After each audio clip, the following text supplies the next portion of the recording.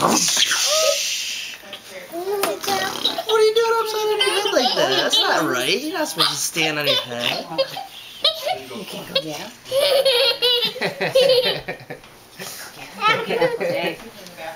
Oh, Look out. that's not normal. Here comes Dominic. Look out. Oh, he's gonna get out of there. give him a big sloppy kiss.